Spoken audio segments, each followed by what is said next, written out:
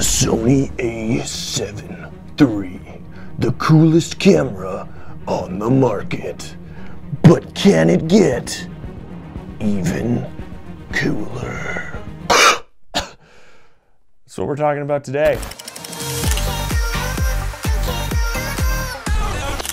Oh, I got a new intro. How you guys liking that one? Hey team, it's Josh Thom back with another video. You like that new intro? So, the Sony a7 III, my main shooter. Everyone loves this camera. It's all over the place in the YouTube scene. Like I said, this camera is the coolest camera on the market. But it can get a little bit cooler. Just, just a little bit. Stealth mode activated. Want a stealth mode? Cool, right? That's actually a good idea.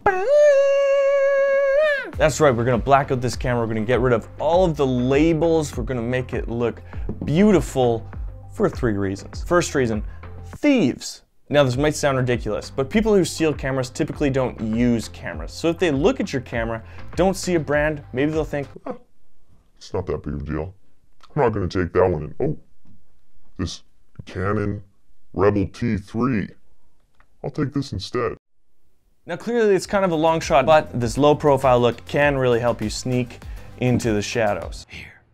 Reason number two, all of my friends have this camera. Everyone shoots with this camera, and I want to look unique. When you show up and you've got this camera blacked out, it seems like you know something that no one else does, and it gives a little personal flair to the camera that everyone else is using. Number three, and this is actually the primary reason, it looks dope. So let's get into how we're gonna break this down. All right, so your first step is to get yourself some black tape marking book where I keep all my little tape threads, non-glossy kind of matte tape.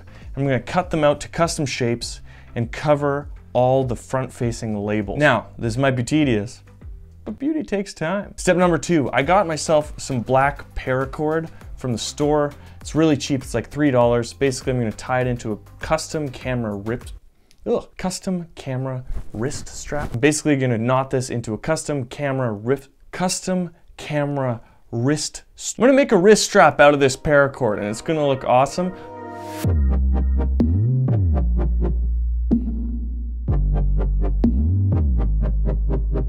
Now, for step three.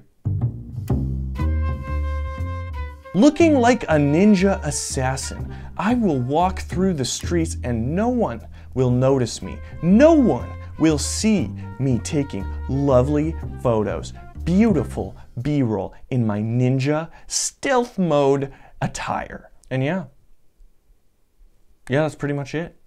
Listen guys, I know, I know this was kind of a fun, jokey video, not too serious, but you can do this to your own rig in other ways as well. You can put all types of tape, you can take different paracord straps, customize your camera so that it doesn't look like everyone else's.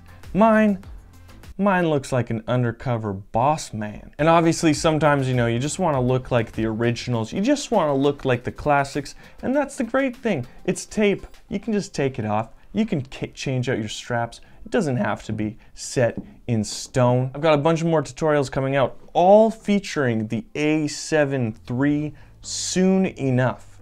So I hope you guys tune in for that. Subscribe if you haven't. Leave a like and comment down below. It's been Josh Thom. Thank you so much for watching. Stay stealthy out there.